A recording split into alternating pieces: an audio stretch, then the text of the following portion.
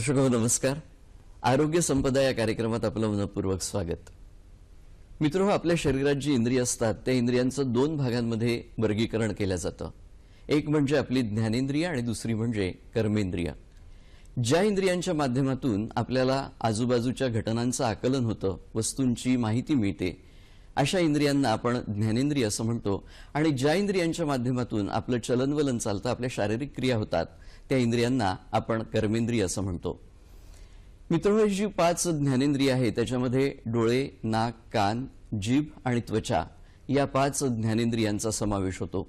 या पाचही ज्ञानेंद्रियांचं अत्यंत विशिष्ट महत्त्व आपल्या शरीरात असतं हे सगळेजण आपण जाणतोच. या पाच इंद्रियांपैकी एक अत्यंत महत्वाचं ज्ञानेंद्रिय ते म्हणजे कान. आणि या कानाच्या माध्यमातूनच खरं तर आपल्याला ऐकू येण्याची प्रक्रिया पार पडत असते. या यंत्रणेत जर काही बिघाड झाला कानाच्या प्रक्रियेमध्ये जर काही बिघाड झाला तर आपल्याला अनेक गंभीर दुष्परिणामांना तोंड द्यावं लागतं. आणि म्हणूनच आजच्या आपल्या कार्यक्रमामधून आपण कानांचे विकार आजार आणि त्याच्यावरचे उपचार याविषयी चर्चा करणार आहोत. आणि ही चर्चा करण्यासाठी आज स्टुडिओमध्ये माझ्यासमवेत उपस्थित आहेत डॉक्टर जीवन वेदी. डॉक्टर जीवन वेदी हे नागपूरच्या इंदिरा गांधी शासकीय वैद्यकीय महाविद्यालयात प्राध्यापक म्हणून कार्यरत आहेत. तसंच ते ईएनटी विभागाचे विभाग प्रमुख म्हणून देखील कार्यरत आहेत. अनेक राष्ट्रीय आणि आंतरराष्ट्रीय जर्नल्समधून त्यांचे शोधनिबंध प्रसिद्ध झाले आहेत. विशेष महत्वाची बाब म्हणजे त्यांना best doctor of the year हा अवॉर्ड देखील प्राप्त झालेला आहे. कान नाक आणि घसा या क्षेत्रामधले ते तज्ज्ञ म्हणून सुविख्यात आहेत. तेव्हा आपण चर्चेला प्रारंभ करूया. डॉक्टर नमस्कार. नमस्कार. कार्यक्रमात आपलं मनपूर्वक स्वागत. मी आताच म्हटल्याप्रमाणे आज आपल्या चर्चेचा विषय आपण घेतलाय कानांचे विकार आजार आणि त्याच्यावरचे उपचार. तेव्हा पहिल्यांदा कान म्हणजे काय आणि त्याची रचना कानातली अंतर्गत रचना कशी असते याविषयी आम्हाला माहिती सांगा. कान हे जे आपल्या शरीरामध्ये हे शरीराची पूर्ण रचना करत असतानाच जो निर्माता आहे म्हणजे जो पण निर्माता सुपर नॅचरल पॉवर त्यांनी जे शरीर बनवलेलं आहे तर त्यामध्ये सर्वात किचकट अशी संरचना जर असेल तर ती कानाची आहे. कानाला तीन भागामध्ये आपल्याला डिव्हाइड करता येतं किंवा त्यांना विभाग विभाजित करण्यात येतं. एक आहे बाह्य कर्ण मध्य कर्ण व अंतर कर्ण. बाह्य कर्ण म्हणजे हा बाहेरून असलेला कान. आता तुम्ही पाहाल की यामध्ये खूपदा जे लोअर अॅनिमल्स असतात गाय कुत्रा मांजर यांना जेव्हाही आवाज देतो तर त्यांचे ते कान हलतात. तर ह्या कानाचं कार्य असतं की येणाऱ्या ध्वनी लहरी साऊंड वेव्ज याला कलेक्ट करणे. व ते कानाच्या ध्वनी पटलावर किंवा कानाच्या पडद्यावर घेऊन जाणे. तर हे बाह्यकरणाचं काम असतं. त्यानंतर असतं मध्य कर्ण. मध्य कर्णामध्ये कानाचा पडदा व त्यानंतर आतमध्ये तीन लहान लहान हाडं असतात. आणि ते तीन हाडं जे आहे ते कानाच्या पडद्याला चिपकलेले असतात व इथून आलेले साऊंड वेव्ज इथे पडदा हल्ल्यानंतर ते ह्या तिन्ही हाडांमुळे ते अंतरकरणाकडे जातात. या मध्यकरणामध्ये एक नळी सुद्धा असते जी ओपन होते खाली आणि ती येते नाकाकडनं. तिला आम्ही इस्सेशन ट्यूब म्हणतो. आणि ही इस्सेशन ट्यूब जी आहे ती नाकाच्या मागून व टॉन्सिलच्याही बरतून येते. आणि ह्यामुळे जो कान नाक घसा हा एक दुसऱ्याशी मिळालेला आहे. व नाकामधनं काना गळ्यामधनं होणारे इन्फेक्शनही ह्या नळीद्वारेच या मध्य कर्णामध्ये पोहोचतात व कानाचे विकार होतात. आणि त्यानंतर असतो अंतरकर्ण. अंतरकर्ण जो आहे त्यामध्ये आपल्याला बॅलन्स करणं आणि श्रवण म्हणजे हिअरिंग ह्या दोन्ही गोष्टी ह्या इथे होतात. यामध्ये हेअर सेल्स असतात आणि हेअर सेल्स वरून ते ऐकू येतं आणि तिथून ह्या नव नवद्वारे एका न नवद्वारे हे इथून ब्रेनकडे जातं. तर असे तीन प्रकारामध्ये ही कानाची रचना आपल्याला सांगता येऊ शकेल. म्हणजे बाह्यकर्ण मध्यकर्ण आणि अंतरकर्ण असे तीन भागांमध्ये आपल्या कानाची ही अंतर्गत रचना असते. डॉक्टर आता तुम्ही सांगितलं की याच्या ध्वनी लहरी हा बाह्यकर्ण स्वीकारतो आणि त्या अंतकरणापर अंतरकरणापर्यंत पोहोचवतो हे मेंदूपर्यंत जाऊन मग आपल्याला संवेदना प्राप्त होतात आणि मग त्याच्यातून आपल्याला काय आपण ऐकलाय कुठला ध्वनी आपण ऐकलाय याचं ज्ञान होतं असं तुमच्या बोलण्यातनं एकंदरीत लक्षात आलं. डॉक्टर आता मला असं सांगा की तुम्ही ही जी अंतर्गत रचना तुम्ही सांगितली या अंतर्गत रचनेमध्ये एक नळी ही नाकापर्यंत जाते असं तुम्ही म्हणालात. तर कानाचा घशाचा आणि नाकाचा एकत्रित संबंध आहे काय? हो. कान नाक घसा हे सर्व एक दुसऱ्याशी निगडीत झालेले आहे. जसं नाकामध्ये जसं काही नाकाचा पडदा वाकडा असेल किंवा त्यामध्ये पॉलिप्स वगैरे काही झालेले असेल किंवा नेहमी सर्दी राहणे सायनोसायटिस होणे असा जर प्रकार होत असेल तर कानामध्ये काहीही प्रॉब्लेम नसताना त्या ट्यूब मार्गे हे इन्फेक्शन कानामध्ये जातं.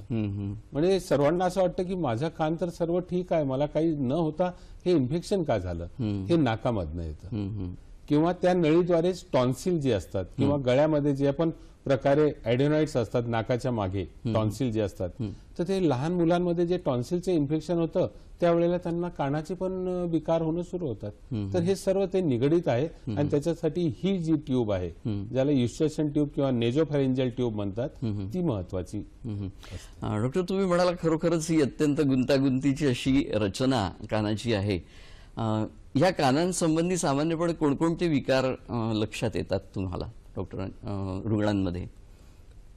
खूपदा लहान मुलांना जर आपण विचार केला तर लहान मुलांमध्ये कानाचं दुखणं आणि कान फुटणं म्हणजे पू येणं हा प्रकार लहान बालकांमध्ये किंवा इव्हन दो जे लोक दूध पितात किंवा जे निओनेट्स असतात कमी वयाचे असतात एक नवजात आपण म्हणू. जे तर त्यांच्यामध्ये हा प्रकार असतो. कारण की ही जी नळी आहे पुन्हा त्या नळीवरच जातो मी. कारण की ती जी असते ती लहान मुलांमध्ये थोडीशी छोटी असते मोठी असते डायमीटरनी आणि ती सरळ असते.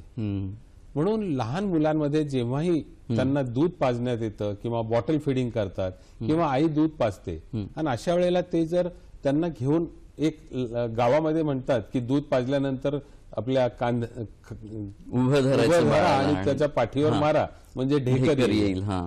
तर तसं न केल्यामुळे काय होतं की ते दूध तिथे जमा जे असलेलं असतं ते सुद्धा कानाकडे जातं. बरोबर. त्या नळीद्वारे.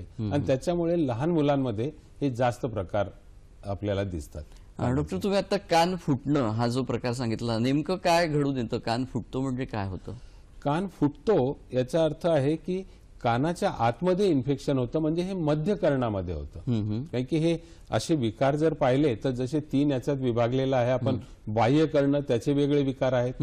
मध्य कर्ण याचे वेगळे आहे आणि अंतर कर्ण याचे वेगळे आहे कारण की त्यांचे वेगवेगळे तर आता जसं कान फुटणं म्हणतात तर काय आहे की मध्य कर्ण जे आहे तर तिथे हे infection bacterial infection viral infection किंवा आतमध्ये होणारं जे पण एक निगेटिव्ह प्रेशर वगैरे क्रिएट झालं तिथे सूज आल्यामुळे त्याच्यामुळे तिथे पू तयार होतो. मग तो पू जो असतो तर त्याचं प्रेशर आतून त्या आपल्या कानाच्या पडद्यावर येतं. आणि ते प्रेशर आल्यानंतर इन्फेक्शन वाढत जातं आणि कानाचा पडदा फाटतो आणि आतमधलं ते पू बाहेर येतो. जर तो तिथनं आला नाही तर तो तिथनं मेंदूकडे जाऊ शकतो. त्यामुळे मग तो पडदा फाटणं हे जास्त चांगलं आहे मेंदूकडे जाण्यापेक्षा. हा. तर असं असतं. मग ह्याच्यावर काही उपचार आहेत का? कान फुटण्यावर? हो.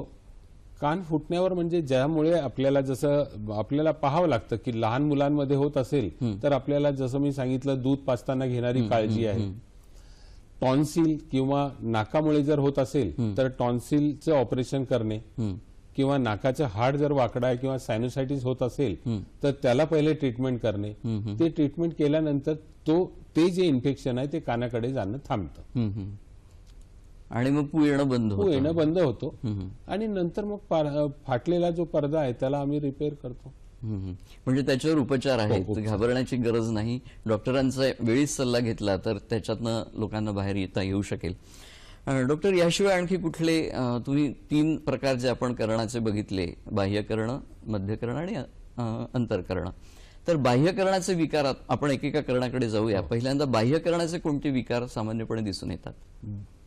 बाह्यकरणामध्ये आपल्या जसं लोकांमधल्या ज्या सवयी आहे कारण की कोणती गोष्ट देवानी अशी बनवलेली नाहीये की स्वतःहून ती खराब होईल आहे. आपल्या सवयीमुळे हे खराब होतो. आता बाह्यकरणामध्ये खूपदा असं होतं की खाजवतंय त्यावेळेला तुम्ही पाहिलं असेल तर जर तुमच्या जवळ जर चाबी असेल क्लिप असेल माचीसची काडी असेल किंवा पेन असेल त्यांनी ते खाजवण्यासाठी त्याचा उपयोग करतात आणि कानाची जी त्वचा असते त्याला त्या इजा होते. आणि तिथे असणारे बॅक्टेरिया जे आहे ते त्या त्वचेखाली जातात आणि तिथे पू तयार करून तिथे ते फरंकल ज्याला तुम्ही फुटकुळी किंवा हिंदीमध्ये फुंसी म्हणतात असा प्रकार होतो.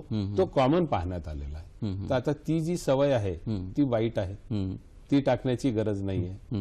दुसरं असतं की कानामध्ये जर मळ झालेला आहे तर तो काही कारण नसतानाही काढण्याची खूप सवय असते. मला खूपदा लोक विचारतात आणि म्हणतात की सर आम्ही आंघोळ करताना कान पण धुवायला पाहिजे का? मी त्यांना सांगतो कान हे काही भांड नाही आहे की जे तुम्ही रोज त्याला घासायला पाहिजे. कारण की देवानी तो जो मळ तिथे निर्माण केलेला आहे ते याच्यासाठी केलेला आहे की बाहेरून येणारे जे फॉरेन बॉडीज असतात म्हणजे खूपदा तुम्ही पाहिलं गाडी चालवत असताना येणारे किडे असतात किंवा हे सगळं प्रदूषण. प्रदूषण तर ते त्याला रोखण्यासाठी ते मळ असतो.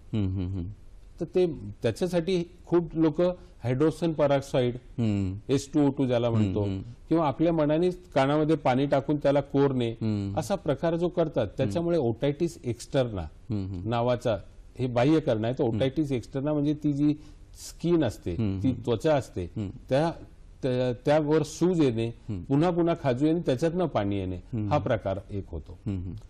पण खूपदा जर हा जो मळ असतो तो जर खूप वाढला तर त्यावेळेला त्याचा गडा बनतो किंवा खडा बनतो. आणि त्यामुळे पण कान दुखतो. तर अशा वेळेला डॉक्टरांकडे जसं लहानपणी पण म्हणायचे कानामध्ये थोडं त्याला सॉफ्ट करण्यासाठी तेल घालायचं तेल घालायचं. वगैरे.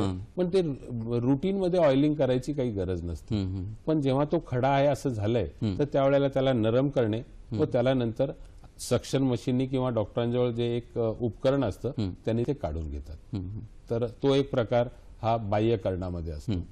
आता मध्यकरणामधले संबंधीचे विकार कोणकोणते? सामान्यपणे दिसून येतात. मध्यकरणामध्ये ज्याला आम्ही सुपुरिटी ओटायटिस मीडिया म्हणतो. म्हणजे ओटायटिस मीडिया म्हणजे मध्यकर्णाचे विकार. आणि त्याला त्यांनी डिव्हिजन केलेलं आहे पुन्हा त्याचे प्रकार करण्यात आले. खूपदा पडदा फाटलेला नसतो. तरी पण लहान मुलं जे असतात त्यांना ऐकण्यासाठी कमी येतं. हे तुम्ही पाहिलं असेल की खूप सारे लोक म्हणतात की हा मुलगा जो आहे तो शाळेमध्ये खूप मागच्या बेंचवर बसलेला आहे. तो लक्ष देत नाहीये. आणि त्याला ऐकू जात नाही. तर हे पण त्या जी नळी असते त्याच्यामुळे आतमध्ये इन्फेक्शन होतं आणि निगेटिव्ह प्रेशर क्रिएट होतं. त्याला आम्ही सिक्रेटरी ओटायटिस मीडिया म्हणतो.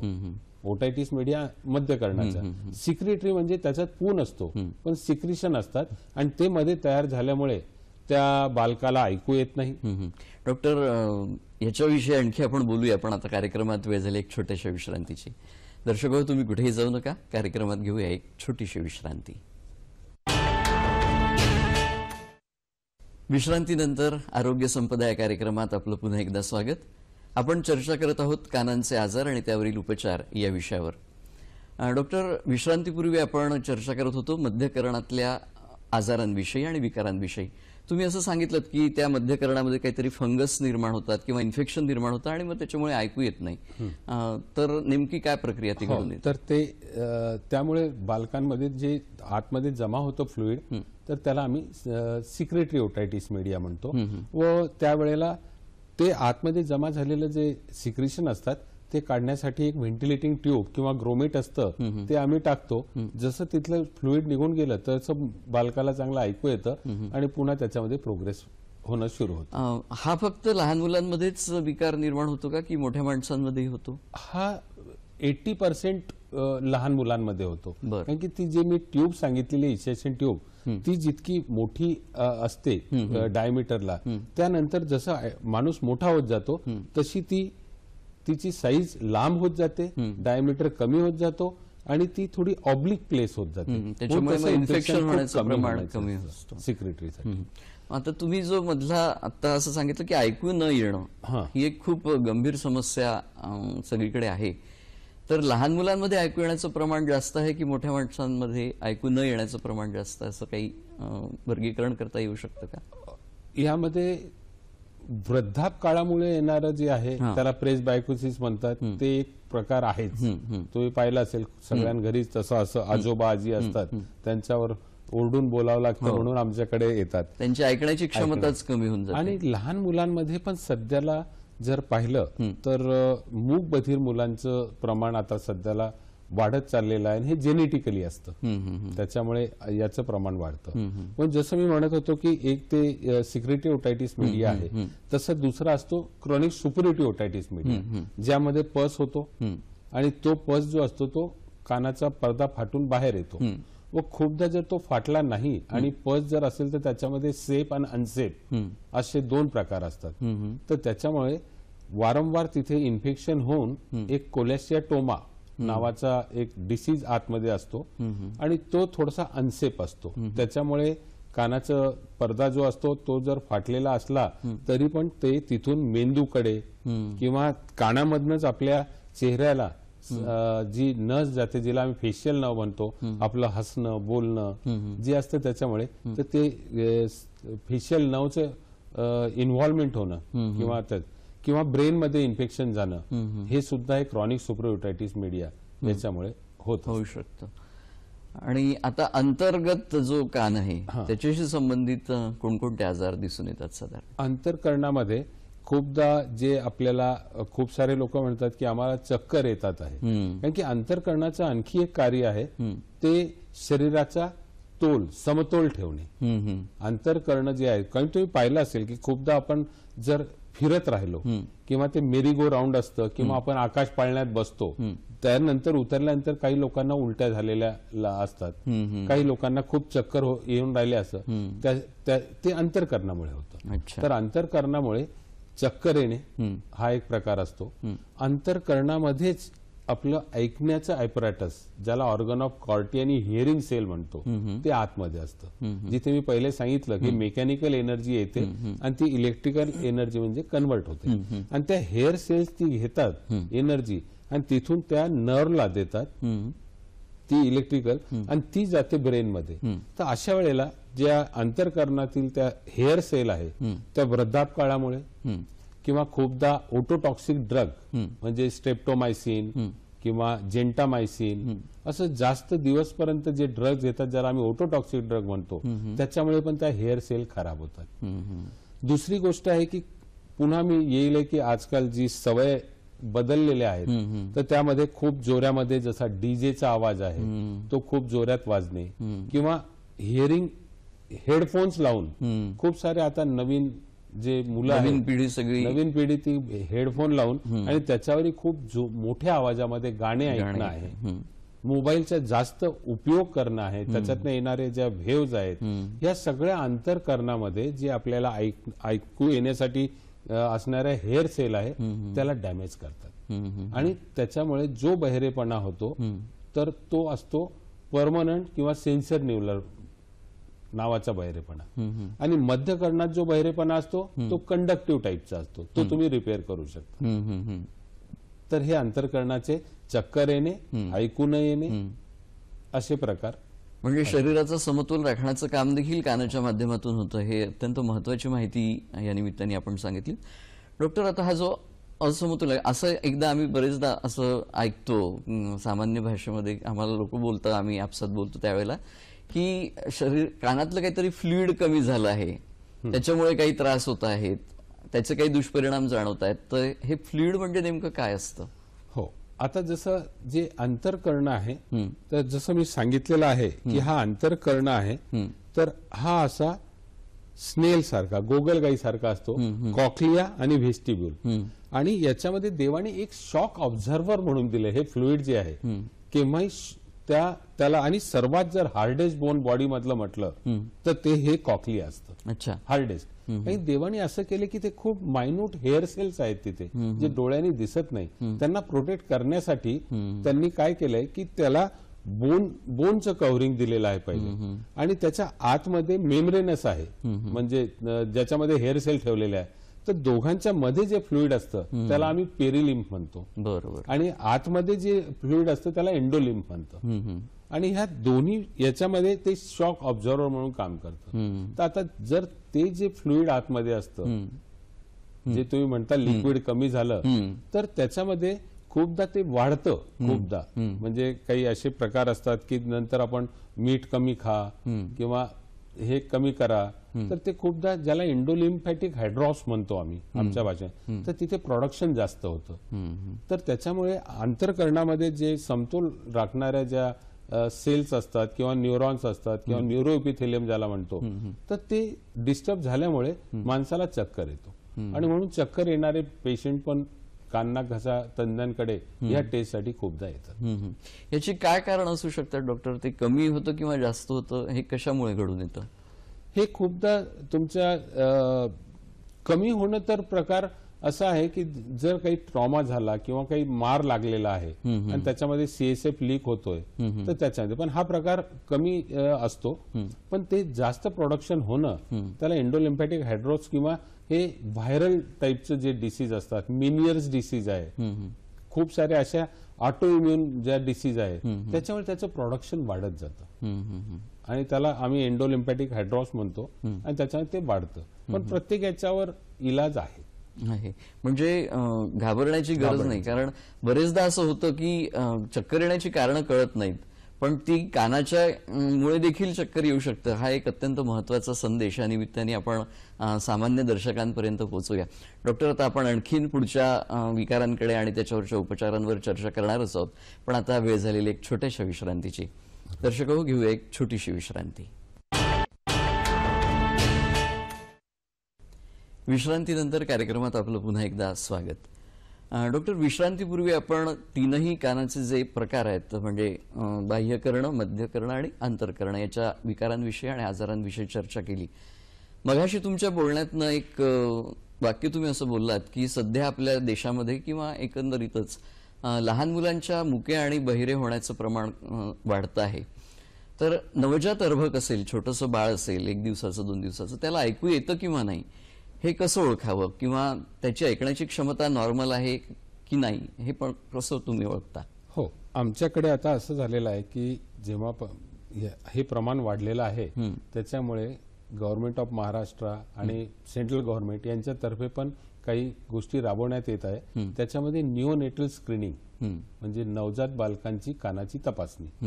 तर त्यामध्ये जसं जसं आपण विचारलं होतं की कशामुळे होतं तर हाय रिस्क ज्या प्रेग्नन्सी आहेत किंवा ज्या माता आहेत ज्या हाय रिस्कमध्ये असतात ज्यांचं खूप जास्त वय झाल्यानंतर प्रेग्नन्सी राहिलेली आहे किंवा प्रेग्नन्सीमध्ये त्यांना इन्फेक्शन झालेले आहे डायबिटीज झालेला आहे किंवा त्यांना हायपरटेन्शन आहे इक्लामशी आहे तर अशा ज्या हाय रिस्क जॉन्डिस आहे हाय रिस्क माता जे असतात त्यांना झालेले जे बालक आहे तर त्यांना हॉस्पिटलमध्येच आम्ही निओनेटल स्क्रीनिंग करतो.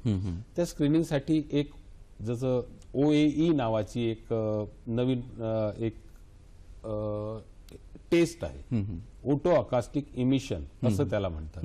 तर त्यामुळे त्यामध्ये बालकाला काही करावं लागत नाही. फक्त कानामध्ये तो प्रोब ठेवला की त्याच्यावर येणारं पास किंवा रेफर असं जे येतं त्यांनी तुम्हाला समजून येतं की बा याला ऐकू येत आहे की नाही म्हणून निओनेटल स्क्रीनिंग हा महत्त्वाचा विषय आहे. पण जर गावामध्ये जर बाळ झालेलं आहे किंवा ग्रामीण भागामध्ये ग्रामीण भागामध्ये निदान.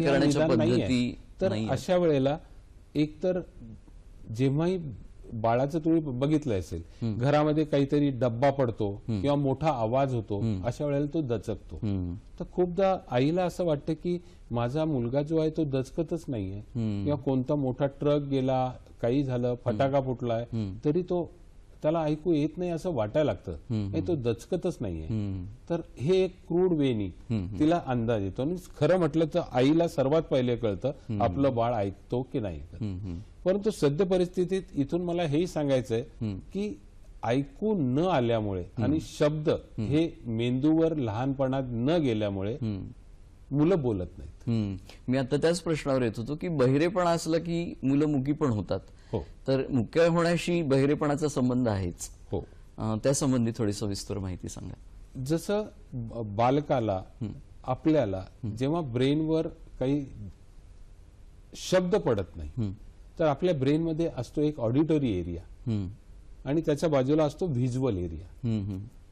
ज्याला म्हणतात की आता तो ऑडिटरी एरिया जर उपयोगात नाही आणला तर तो जो व्हिज्युअल एरिया आहे तो ऑडिटरी एरियाला ग्रसित करतो घेऊन टाकतो आपल्याकडे. की तुझा उपयोग नाहीये मला दे. आणि त्यामुळे तुम्ही पाहिलं असेल की ज्याला तुम्ही म्हणता की यांचा सिक्स सेन्स चांगला आहे. हे लोक लिप रिडिंग करतात फेस रिडिंग करतात. त्यांचं व्हिज्युअल चांगलं होतं. आणि हा जो मुख्यपणा आहे जर ते शब्दच पडले नाही तर ते बोलणार काय. लहान मुलगा आहे. तो लहानपणातच जर तुम्ही कोणाही कडे ठेवला? मराठी माणसाकडे मराठी बोलेल तोच जर बंगालीकडे बंगाली बोलेल म्हणजे त्याच्या कानावर जे शब्द पडतील तेच तो काढतो. स्वतः आणि तुम्ही पाहिलं असेल पाळण्यामध्ये. ऐकतात आणि स्वतः पुन्हा हातपाय हलवतात. म्हणजे ते एक रिस्पॉन्स असतो. म्हणून मुकेपणा आणि बहिरेपणा हा सोबतच असतो. आणि त्यामुळे मला असं म्हणायचं खूपदा लोक जाऊन म्हणतात की बा आमचा बाळ बोलत नाहीये डॉक्टर काही करा. आणि सध्याला ते बालरोग तज्ज्ञ किंवा दुसरे जे डॉक्टर असतात त्यांना जाऊन भेटतात. तर त्यांचं म्हणणं असतं नाही अडीच वर्ष तीन वर्ष होऊ द्या नंतर हा बोलेल. हा. तर हे चुकीचं आहे. कारण की आता जे नवीन कॉक्लिअर इम्प्लांट जे लहान बालकांमध्ये सुरू झालेलं आहे. मी आता तेच तोच प्रश्न मला विचारायचा होता की असं जर घडलं की एखादा छोटा मुलगा ऐकूच येत नाही त्याला आणि त्याच्यामुळे तुम्ही आता सांगितल्याप्रमाणे ब्रेनमध्ये त्याच्यापर्यंत शब्द पोचत नाही आणि मग तो बोलूही देखील शकत नाही. म्हणजे मुका आणि बहिरा ज्याला आपण मुकबधीर असं म्हणतो. तर या मुकबधीर मुलांसाठी काही निदान करण्याच्या आणि उपचाराच्या काही पद्धती आहेत का? आधी टेस्ट काही असतील तर त्या आम्हाला सांगा आणि मग त्याच्यावरचे तर जसं उपचार आता मी सांगितलं की आईला समजलेलं आहे की आपलं बाळ ऐकत नाही आहे अशा वेळेला त्यांनी घेऊन आल्यानंतर ज्या टेस्ट होतात कारण की मुलं काही रिस्पॉन्ड करत नाही. म्हणून त्यांना एक invasive non invasive subjective objective अशा प्रकारच्या टेस्ट असतात. तर त्यामध्ये जी मी पहिले सांगितलं ओएई निओनेटल स्क्रीनिंग त्याच्यानंतर एक बेरा आहे. ब्रेन इव्होक्ड रिस्पॉन्स ऑडिओमेट्री बेरा. आता एक कॉमन झालाय वर्ड लोक म्हणतात मला बेरा करायचा जसा एमआरआय सिटी करायचा सगळे म्हणतात. तसं. तर बेरा. असं ते एक दुसरं आहे ज्यामध्ये बाळाला पूर्ण झोपवून ठेवलेलं असतं आणि ते इलेक्ट्रोड त्याच्या कानात आणि इकडे लावलेले असतात. तर जसा ईसीजी होतो तस तो झोपलेला असतो परंतु तिथे ज्या व्हेव्ज येतात त्यांनी कळतं की ते व्हेव पॅटर्न त्याच्या ब्रेनकडे चाललेला आहे की नाही. जर मोठा असेल तर त्याच्यामध्ये स्पीच डिस्क्रिमिनेशन टेस्ट की मी बोललेले किती शब्द त्याला ऐकू येतात आहे किती मीटर ऐकू येतात आहे. आणि एक असते प्युअर टोन ऑडिओमेट्री जे कानामध्ये लावून साऊंड प्रूफ रूममध्ये ती केल्या जाते. हे तीन चार असतात. आणि मग जर खरं लहान बाळ आहे आणि ते त्यालाही रिस्पॉन्ड करत नाही तर मग खूप साऱ्या टेस्ट आहे. ज्याला व्हीओए व्हिज्युअल इनपुट्स ऑडिओमेट्री त्याला बाळाला ठेवून टाकला आवाज दिला लाइट लावला तो तिकडे पाहतो. नंतर फक्त लाइट लावला. तर तो तिकडे पाहतो म्हणजे आवाज आलाच नाहीये त्याला. तर आवाज येतो की नाही येतो तर अशा वेगवेगळ्या खूप साऱ्या डेव्हलप झालेल्या आहेत चाचण्या आता. आणखीन तुम्ही जे डेव्हलप झालं म्हणतात आणखीन नवीन नवीन तंत्रज्ञान तुमच्या या सगळ्या टेस्टमध्ये आलेलं आहे. तुम्ही मगाशी बोलताना असा उल्लेख केला की लहान मुलांमध्ये असा मुकबधीरपणा दूर करण्याचे देखील उपचार आहेत. हो. तर ते जे नवीन विकसित झालेलं तंत्रज्ञान आहे त्याच्याविषयी थोडी माहिती सांगा. सद्य परिस्थितीमध्ये पहिले तर हे नव्हतं आणि आवाक्याच्या बाहेरही होतं ज्याला आपण कॉकलेअर इम्प्लांट म्हणतो. आता तुम्ही म्हणाल की कॉकलेअर इम्प्लांट काय आहे? हे हिअरिंग एडच आहे का? तर ह्या दोघांमधला फरक असा आहे की कॉकलेअर इम्प्लांट जे असतं ते आम्ही ऑपरेशन करून जे मी तुम्हाला सांगितलं की अंतर करणं त्याच्यामध्ये असलेल्या हेअर सेल्स जे डॅमेज झालेले आहेत. तर तिथून ती कॉकलिअर नव तर त्या कॉकलिअर नव पर्यंत डायरेक्ट इलेक्ट्रिकल व्हॉइस जो असतो तो इथनं म्हणजे बाह्य कर्ण मध्य कर्ण यांना बायपास करून डायरेक्टली तो इथनं घ्यायचा आणि कॉकलिअर नवच्या थ्रू ब्रेनला पोहोचवायचा. हे झालं कॉकलिअर इम्प्लांट आणि हिअरिंग एड काय आहे? की ते कानामध्ये लावलं जातं पण त्याचा जो साऊंड असतो किंवा जो आवाज असतो तो जाणार कुठनं? मध्यकर्ण अंतरकर्ण मध्यकर्णामध्ये काही नाही परंतु अंतरकर्णामध्ये ज्या हेअर सेल आहेत त्या डॅमेज आहे. तर तो आवाज त्याच्यातनं जातो. त्यामुळे पूर्णपणे ऐकणं त्रासदायक होतं. त्यामुळे हे कॉकलिअर इम्प्लांट जे आहे जे खूप महागडं आहे सात आठ लाख आणि चांगले जे नवीन मॉडेल्स वगैरे आहेत ते चौदा लाख वगैरे असे असतात. पण तो सध्याला गव्हर्नमेंटच्या खूप साऱ्या स्कीम आलेल्या आहेत. आणि त्याचा जर फायदा जे पण गरजू त्याच्याविषयी माहिती सांगा म्हणजे आपल्या ग्रामीण भागातल्या आणि इतरही लोकांना त्याचा फायदा होईल. हो. तर आता खूपदा कसं होतं की बा माझा मुलगा मूक बधीर आहे आणि मला आता हे याचं ऑपरेशन करायचं तर जेव्हा सांगतात की त्याला सात लाख आठ लाख रुपये लागतात तर तो गरीब जो असतो किंवा गरिबी रेषेच्या खाली असतो तो हतबल होतो आणि वापस जातो आणि त्यांना मूक बधीर शाळेमध्ये टाकून देतो. तर असं होऊन त्याचं वय वाढतं. आणि हे पण असं कॉकलिअर इम्प्लांट जे आहे जर तीन ते पाच वर्षाच्या आत जर ऑपरेशन केलं कॉकलिअर इम्प्लांटचं तरच त्याचा फायदा चांगला होतो. अच्छा. कारण की तो पण लँग्वेज डेव्हलप व्हायची असते. एकदा लँग्वेज डेव्हलप झाली की त्याचा फायदा होत नाही. त्यामुळे सर्वात प्रथम सर्वांनी लहान बाळांना तो ऐकतो किंवा नाही हे त्यांच्या पद्धतीने आवाज होतो हे नाही तर त्वरित त्याला एनटी सर्जनकडे घेऊन येणे त्या चाचण्या करणे आणि लवकरात लवकर ऑपरेशन. म्हणजे जर तुम्ही म्हणाल की किती वय कमी लागेल. तर मी म्हणतो की एक वर्षापासून किंवा नऊ महिन्यामध्ये पण आता ऑपरेशन झालेले आहेत. म्हणजे असं नाही की त्याचं वय वाढू द्या अडीच वर्षांतर बोलेल असं न करता त्याला त्वरित कॉकले इम्प्लांट करायला पाहिजे. आता याच्यामध्ये स्कीम गव्हर्नमेंटने हे केलं की हे गरीब लोक आहे हे कुठनं देणार आहेत? तर त्यासाठी एडिप नावाची स्कीम आहे जी सेंट्रल गव्हर्नमेंटची आहे. आणि आता आमच्याकडे तीच चालू आहे गव्हर्नमेंट हॉस्पिटलला. आणि त्या ऍडिपमध्ये आम्ही हे पूर्ण चाचण्या वगैरे सर्व करतो. त्यांची सिटी स्कॅन बेरा आणि एम आर आय करतो. त्याच्यामध्ये आम्हाला हे पाहायचं असतं की त्यांची कॉकलिअर नव आणि सगळी अनाटॉमी जी आहे ती ते कॉकलिअर इम्प्लांटसाठी फिट आहे की नाहीये? नाही तर कॉकलिअर नव नाही आणि तुम्ही कॉकलिअर इम्प्लांट टाकला तर काहीच फायदा होणार नाही. आम्ही सगळं पाहून ते आम्ही पाठवतो. तर जसं बांद्राला अली अवरजंगची गव्हर्नमेंटची इन्स्टिट्यूट आहे आणि सेंट्रल गव्हर्नमेंटकडनं त्याला फंडिंग असतं. तर आणि ते त्यांनी अप्रूव्ह केल्यानंतर ते आम्हाला कॉकले इम्प्लांट पाठवतात. आणि मग त्या मुलाचं आम्ही ऑपरेशन करतो.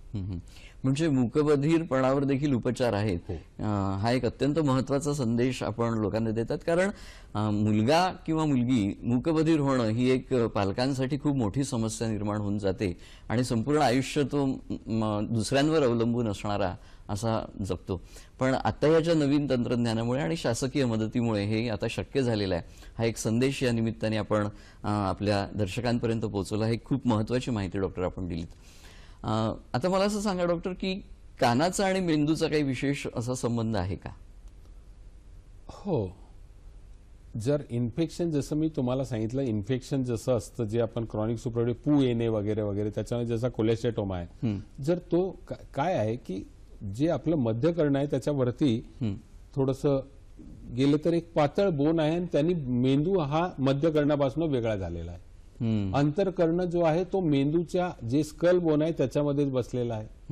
त्याच्यामुळे तिथनं होणारे इन्फेक्शन वरती गेलं तर ब्रेन ऍप्सेस आणि ते वेगवेगळे सबड्युरल एक्स्ट्रा ड्युरल ऍप्सेस मेनिंजायटिस हे सगळं मेंदूचे जे इन्फेक्शन आहे ते अनसेफ टाईप ऑफ ओटायटिस मुळे ज्याला कोलेस्टेटोमा वगैरे म्हणतो अशा याच्यामुळे मेंदूवरही त्याचा परिणाम होतो. म्हणजे कानांच्या विकारांमुळे मेंदूवर देखील त्याचे दुष्परिणाम होऊ शकतात असं आपल्याला म्हणता येईल. डॉक्टर आणखी आपण चर्चा करूया. आपण आता कार्यक्रमात घेऊया एक छोटीशी विश्रांती. विश्रांतीनंतर कार्यक्रमात आपलं पुन्हा एकदा स्वागत. डॉक्टर विश्रांतीपूर्वी आपण कॉकलिअर इम्प्लांट याच्याविषयी विस्तृत माहिती दिली आणि सामान्यपणे मूकबधीर विद्यार अं, मुलांमध्ये त्याचा कसा उपयोग होतो हे सांगितलं. पण ती प्रक्रिया नेमकी कशी होते ती आम्हाला अशी विस्तृत आणि चित्राद्वारे समजून सांगू शकाल का जेणेकरून दर्शकांना त्याचा फायदा होईल? हो. कॉकलेर इम्प्लांट जे इतकं महागडं आहे जेव्हा तीन एक लाखाचं ते सहा लाखापर्यंत सात लाखापर्यंत तर ते असं असतं त्याच्यामध्ये दोन भाग असतात. आता मी इथे दाखवतोय. कॉकलेर इम्प्लांट विषयी आपण विचारलेलं आहे. तर कॉक्लेअर इम्प्लांटचे दोन पार्ट असतात. एक्सटर्नल पार्ट आणि इंटरनल पार्ट आम्ही ऑपरेशन करून जे बसवतो तो इंटरनल पार्ट असतो. आणि त्या इंटरनल पार्ट जो असतो तर त्या इंटरनल पार्टमध्ये जे असतं तर ते इलेक्ट्रिकल एनर्जी जी आहे ती जी इथनं डिजिटल एनर्जी जी बाहेरच्या मॅग्नेटवरून आणि प्रोसेसरवरून येते तर ती ह्या इलेक्ट्रोडद्वारे आतमध्ये इलेक्ट्रिकल एनर्जीमध्ये कन्वर्ट होते कॉकलियामध्ये. यामध्ये ते two and half cochlear turn असतात. तर बाहेरचा हा जो असतो हा नंतर बसवण्यात येतो. यासाठी ऑपरेशनची गरज नाही कारण की इथे मॅग्नेट लावलेला आहे. परंतु सर्वात पहिले जेव्हा कॉकले इम्प्लांटचं ऑपरेशन होतं तेव्हा हा इंटरनल पार्ट टाकला जातो व तो ऑपरेशन करून कानाच्या मागे जे असतं तिथे आपण ब्रे जे स्कल बोन असतं त्याच्यामध्ये याला बसवण्यात येतं. आणि इथून इथून हे इलेक्ट्रिकल इलेक्ट्रोड जो असतो तो इथे जातो आणि इथून तो नद्वारे ब्रेनकडे घेऊन जातो हे इलेक्ट्रिकल सिग्नल हे झाल्यानंतर ऑपरेशन आम्ही करतो त्याच्यानंतर टाके काढल्या जातात व तीन हप्त्यानंतर हे एक्सटर्नल डिव्हाइस तिथे बसवण्यात येतं. आणि याच्यामध्ये जे मॅग्नेट असतं तर ऑपरेशन झालेला जो एरिया असतो तो चांगल्या प्रकारे हील झाला पाहिजे. कारण की हा मॅग्नेट आतल्या मॅग्नेटला चिपकतो. व ह्या साऊंड प्रोसेसरमधनं येणारे जे डिजिटल सिग्नल्स असतात ते इथून इंटरनलला जातात आणि तिथनं ते इलेक्ट्रिकल स्टिम्युलसमध्ये कन्वर्ट होऊन त्या ऑडिटरी नवद्वारे किंवा कॉकलेर नवद्वारे ब्रेनमध्ये जातात आणि तिथे त्याचं विश्लेषण होतं की कोणता आवाज ऐकू आलेला आहे आपण काय ऐकलेला आहे कोणती भाषा आहे काय आहे ते. असं एक कॉकले इम्प्लांट कार्य करतं. त्यामुळे जसं तुम्ही विचारता की खूप लोक हिअरिंग एड जे आहे ते मध्येच काढून फेकतात. हा त्याचा त्रास होतो अनेकांना. त्याचा खूप असा मोठा आवाज येतो. हो. वेगवेगळा आवाज येत असतो ते वापरत नाही. तर हा एक प्रकार असतो. त्याच्यामुळे ते सगळं त्याच्यामुळे. तर म्हणून माझं तर म्हणणं आहे की फक्त लहान बालकांमध्येच कॉकलेअर इम्प्लांट सर्जरी असं काही हा मला तेच विचारायचं होतं की लहान मुकबधीर विद्या मुलांमध्ये आपण ते करतो पण मोठ्या माणसांना देखील त्याचा उपयोग होऊ शकतो का? हो. जसं मी सांगितलं की लहान मुलं ज्यांना ऐकू येत नाही त्यांना आम्ही प्रीलिंग्वल म्हणतो. म्हणजे त्यांची लँग्वेज डेव्हलप होण्याच्या पहिले. परंतु असं होतं की खूपदा मोटरसायकलनी जाताय तुम्हाला ऐकू येत आणि ऍक्सिडेंट झाला आणि तुमची हिअरिंग गेले पण त्यांना ऐकायला येतं ते बोलतात आहे पण ऐकायला येत होतं ना आता नाही आहे तर त्यांना आम्ही पोस्ट लिंग्वल म्हणतो. तर ह्या पोस्ट लिंग्वलमध्ये पण जर तो यंग आहे त्या ऍक्सिडेंटमुळे किंवा काही ओटोटॉक्सिक ड्रगमुळे किंवा कशामुळे त्याचं हिअरिंग गेले किंवा हेअर सेल खराब झालेले आहे. तर त्या लोकांमध्ये किंवा म्हाताऱ्यांमध्ये सुद्धा म्हणजे आपले आजी आजोबा आहे त्यांच्यावर त्यांनी आशा सोडणं असं काही गरजेचं नाही.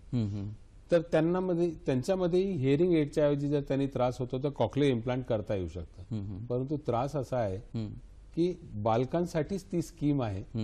तर मला तो प्रश्न विचारायचा होता डॉक्टर की तुम्ही सतत सांगता की ही खर्चिक अशी उपचार पद्धती आहे. पण शासकीय अशा काही योजना आहेत का की ज्याच्यामधून आर्थिक मदत लोकांना मिळू शकते? हो हे करत असताना खूप सारे जे ट्रस्ट आहेत ते सुद्धा समोर आलेले आहे त्या ट्रस्ट कडनं सुद्धा पैसे मिळतात.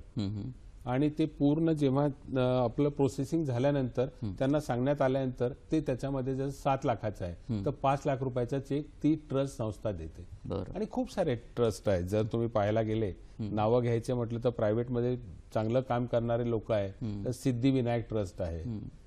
किंवा तुमचं शिर्डी साईबाबा साईबाबा ट्रस्ट संस्थान आहे. टाटा ट्रस्ट आहे. आणि असे खूप सारे लोक आहेत ज्यांनी एक सर्वांसाठी मदतीसाठी हात आणलेला आहे. आणि त्याच्यानंतर दोन लाख रुपये जे आहे ते मुख्यमंत्री निधीमधनं मिळतात. तर पाच लाख आणि दोन लाख. तर ही सुद्धा एक स्कीम आहे ज्याच्यामध्ये मुख्यमंत्री निधी आणि दुसरं एक आहे अं, बाल श्रवण योजना सेंट्रलची. त्याच्यामध्ये बाल श्रवण योजनामध्ये पुन्हा हे जे आहे त्याचं पूर्ण अमाऊंट गव्हर्नमेंट घेते आहे. पूर्ण अनुदान अनुदान मिळतं. सरकारी परंतु हे बालकांमध्येच होतं.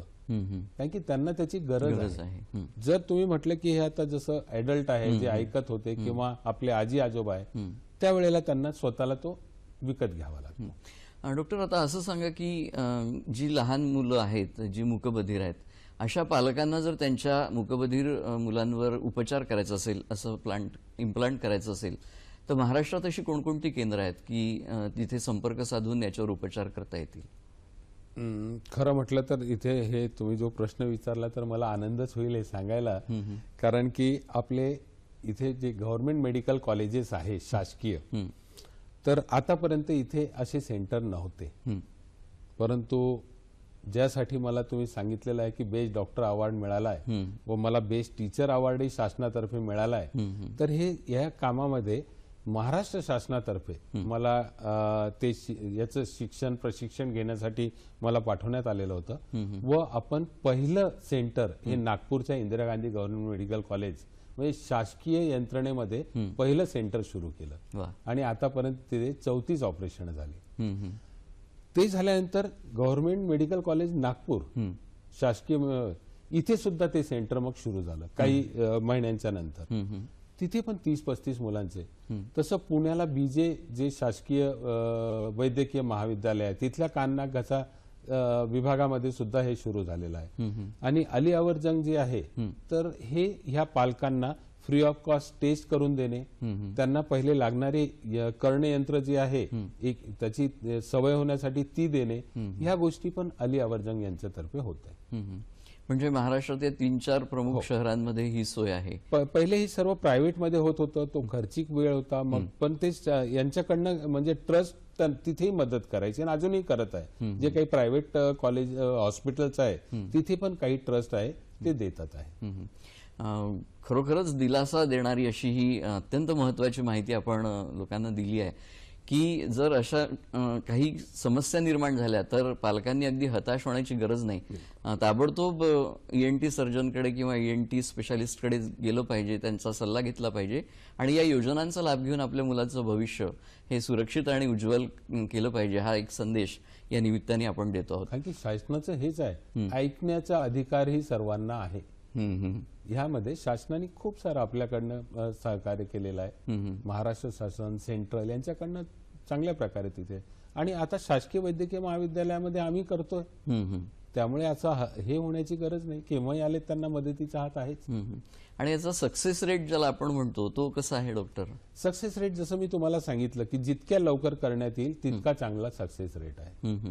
म्हणजे त्याचं लँग्वेज कारण की तुम्हाला मी सांगतो की तीन वर्षापर्यंत कमीत कमी तीस लाख पर्यंत शब्द.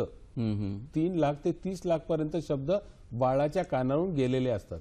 अरे बापरे. हे शब्द आहे आवाज आहे पक्ष्यांचे आवाज आहे पडण्याचा.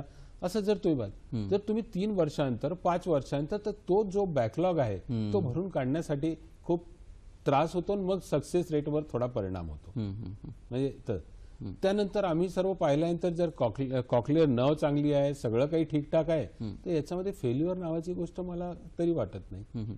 डॉक्टर बरेचदा असं होतं की काही रुग्णांमध्ये असं दिसून येतं कानाच्या आजारांमध्ये की त्यांना कायमचं बहिरेपण येतं त्याच्यावर कुठलेच उपचार नाही असं डॉक्टर सांगतात आणि त्यांना ऐकूच येत नाही. तर त्याची काय कारण असतात? का बरं असं घडून येतं? जसं मी सांगितलं तर बहिरेपणाचे दोन जर महत्त्वाचे जर प्रकार पाहिले तर कंडक्टिव्ह आणि सेन्सर न्यूरल आपण आता हे कॉकलेर इम्प्लांट वगैरे किंवा म्हातारपणी जे होणारं आहे त्याला आम्ही प्रेस बायोकिसिस म्हणतो किंवा म्हातारपणाचं जे आहे जसं मोतीबिंदू वगैरे होतो तशातलाच प्रकार आहे. तर हे जे आहे हे परमनंट आहे. आणि जे कंडक्टिव्ह आहे ज्याच्यामध्ये कानामध्ये जर खडा बनलेला आहे त्याच्यामुळे काही अटकतंय तिथपर्यंत साऊंड जात नाही. कानाचा पडदा फाटलाय त्याच्यामुळे तर कानाचा पडदा बसवून टाका. किंवा ओटोस्क्लेरोसिस नावाच्या स्त्रियांमध्ये जास्त तो रोग प्रेग्नन्सीमध्ये वगैरे पाहण्यात येतो हार्मोनल इम्बॅलन्सनी त्यामध्ये ते छोटस जे हाड मी दाखवलेलं आहे ते चिपकून जातं. तर ते हाड काढून तिथे प्लास्टिकचं हाड बसवण्यात येतं. म्हणजे मला तरी असं वाटतं की आजकाल बहिरेपणावर उपचार नाही असं म्हणण्यास अं, नाही काही माझ्याच परिचित आहेत की ज्यांना डॉक्टरांनी सांगितलं की यांना ऐकू येऊ शकतच नाही. तर अशी काही केसेसमध्ये काय असतं हे जाणून घ्यायचं मला हे म्हणायचं की जर त्यांचं ऑडिटरी जर जो ब्रेन मधला एरिया आहे.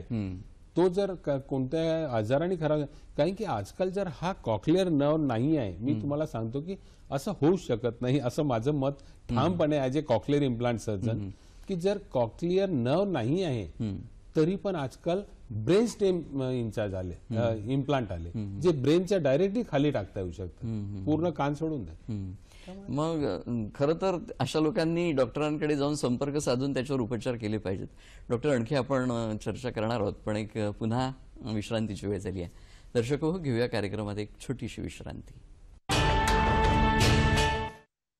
दर्शक हो विश्रांतीनंतर कार्यक्रमात आपलं पुन्हा एकदा स्वागत.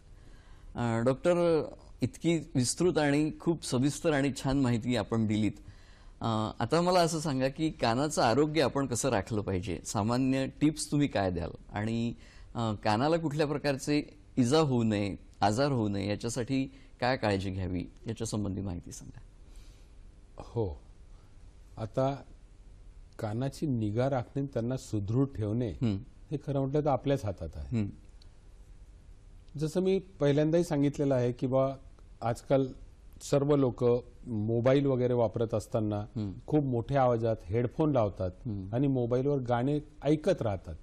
किंवा कॉन्स्टंटली मोबाईल जवळ घेऊन बोलत राहतात. रात्री झोपतानाही मोबाईल आपल्या उशाशी ठेवलेला असतो. तर त्या इलेक्ट्रोमॅग्नेटिक वेव्ह जे आहेत त्या त्यांचा परिणाम असे आम्ही खूप नॅशनल इंटरनॅशनल पेपर झालेले आहेत. त्याचा परिणाम दिसून आलेला आहे की मोबाईलमुळे कानामध्ये बहिरेपणा येतो. दुसरी गोष्ट आपल्याला काही पण त्रास होतो तर कानामध्ये जी आपल्याजवळ वस्तू आहे ती टाकून त्याला खोरणे वगैरे वगैरे दुसरं हे नाही करायला पाहिजे. त्यानंतर त्याच्यामध्ये पाणी टाकणे किंवा जेव्हाही कटिंग वगैरेला गेले तो तो कान धुवून देऊ का? त्यामुळे कानामध्ये फंगस होऊ शकते पुन्हा इन्फेक्शन होतं ते अवॉइड करायला पाहिजे. त्याच्यानंतर कुठे मोठा आवाज होतो जसे मायनर्स आहेत ज्यांना तर त्यांनाही अवॉइड करून म्हणजे त्यावेळेला तुम्ही इयर प्लग इयर मग मफ ते लावून तो मोठा साऊंड तुम्ही जसं ब्लास्ट होतोय किंवा काही तर असे तर हे ह्या सगळ्या गोष्टी जर तुम्ही हे केल्या तर बहिरेपणा इन्फेक्शन हे सगळे तुम्ही वाचवू शकता. याच्यामध्ये व्यायामाचा काही भूमिका आहे का महत्वाची? हो. जसं मी आपल्याला सांगितलं की हा जो बहिरेपणावर तुम्ही शेवटचं जो विचारलं की म्हातारपणामध्ये होतं यंग एजमध्ये होतं आणि बेसिकली त्या हेअर सेल असतात त्यांना ब्लड सप्लाय जो असतो तो मिळत असतो. आणि जितका ब्लड सप्लाय तितकं ऑक्सिजन जास्त. जितकं ऑक्सिजन हे तर नियमच आहे. जितकं तर तुम्ही जसं व्यायाम करता किंवा ऑक्सिजन जिथे जास्त आहे अशा याच्यामध्ये तुमचं फिरणं म्हणा चालणं म्हणा व्यायाम म्हणा योगा म्हणा प्राणायाम म्हणा. प्राणायामामध्ये जेव्हा कान बंद करून तुम्ही भ्रामरी प्राणायाम करता तो एक आवाज होतो तो कानाच्या कानामध्येच तर ह्या सगळ्या गोष्टीमुळे तिथलं जे ब्लड सप्लाय कमी झालेलं आहे नाही की होतं कशामुळे ब्लड सप्लाय जर नाही मिळाला तर त्या हेअर सेल डाय होतात. तर तो ब्लड सप्लाय वाढवण्यासाठी चांगलं डाएट. चांगलं विचार चांगले आचार योगा आणि जे मी सांगितलेले आहे ज्या गोष्टी सवयी सवयी ज्या आहेत त्या avoid केल्या पाहिजे. अवॉइड केल्या तर डॉक्टर ध्वनी प्रदूषणाचा देखील कानावर परिणाम होतो. हो. कारण अलीकडे आता कोविडमुळे त्याच्यावर नियंत्रण आलं आहे पण मोठ्या याच्यात डीजे वाजवणं त्याच्यावर नाचणं आणि वाहनांचे आवाज हॉर्न मोठ्याने वाजवणं याचे देखील दुष्परिणाम कानांच्या आरोग्यावर होतात. हे पण आपल्याला या निमित्ताने सांगता येऊ शकेल. त्याच्यासाठीच तर नो हॉर्न डे हं, वर्षातनं एकदा नो हॉर्न डे आणि सर्वांना सांगण्यात येतं की गरज नसल्यावर हॉर्न वाजवू नका. तसंच जेव्हाही जे पण गोष्टी निघतात किंवा डीजे किंवा लग्न कार्य असतं तर त्याच्यासाठी एक डीबी लेवल केलेलं आहे. किंवा तुम्ही इतक्या एकशे वीस डीबीच्या वरपर्यंत हे लोक जातात. आणि त्याच्यामुळे जो होतो ते ध्वनी प्रदूषण जे आहे ते पण जर थांबवलं गेलं. किंवा गरज नसताना त्या गोष्टी करण्यात अर्थ नाही त्याचं आता नाही होणार तुम्ही यंग आहात तर. पण पुढे तुम्हाला कळेल त्रास. होऊ शकतो. आणि त्यावेळेला कोणी मदतीला येणार नाही कारण की हेअर सेल डॅमेज झालेलं राहते. बरोबर. डॉक्टर आज आपण या ठिकाणी आलात. खूप महत्त्वाच्या विषयावर अतिशय सोप्या शब्दात आणि छान माहिती आमच्या दर्शकांना दिलीत. याबद्दल दूरदर्शनच्या वतीने मी आपला मनपूर्वक आभार मानतो. नमस्कार. नमस्कार.